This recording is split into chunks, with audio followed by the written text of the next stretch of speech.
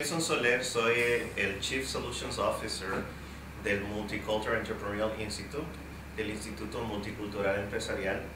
And I'm happy to announce that uh, this uh, winter we're going to start a program with the Social Development Commission uh, offering assistance, technical assistance, uh, training, and mentorship to entrepreneurs.